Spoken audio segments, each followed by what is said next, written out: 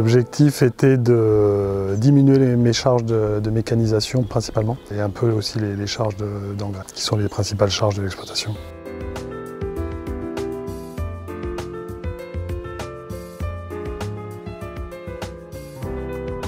L'élément incliné euh, permet euh, d'avoir une, puissance de traction euh, limitée, un poids de tracteur limité devant il permet de, travailler avec une pression sur l'élément euh, plutôt réduite, de l'ordre de 25 à 35 bars, 40 bars maximum.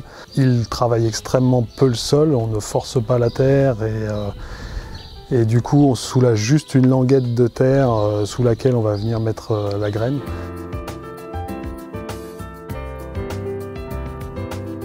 Je suis passé de plus de 600 à un petit peu moins de 400 euros de charge de mécanisation à l'hectare.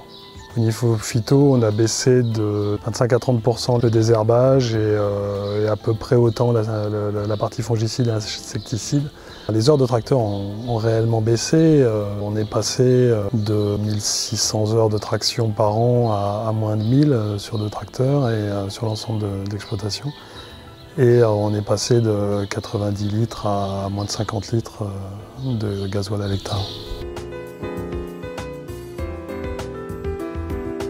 On travaille aujourd'hui avec 6 mètres, avec un tracteur de l'ordre de 180 chevaux, 8 tonnes, c'est suffisant pour ce, type de semoir. Même sur des, parcelles assez vallonnées, euh, il est absolument pas tirant et on a un très bon report de charge sur le, sur le tracteur, ce qui fait qu'on n'a pas besoin d'un monstre devant.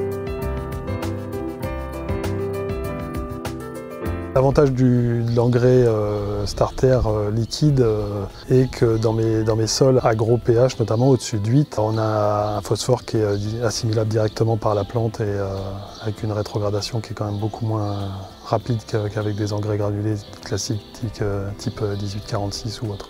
J'ai pas pris l'option euh, chasse-débris rotatif euh, devant l'élément SMER puisque euh, j'avais pas eu jusqu'à présent de, volume de paille conséquent à gérer. Aujourd'hui c'est quelque chose que je ferai.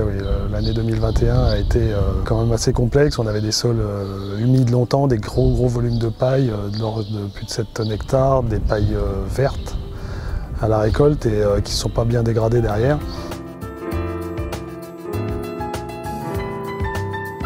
Donc il est pour un public de, donc pour un travail de semi direct, euh, mais malgré tout est polyvalent, euh, c'est-à-dire qu'on peut tout de même semer sur un sol travaillé. Euh, donc c'est l'intérêt voilà, de la polyvalence de, ce semoir-là.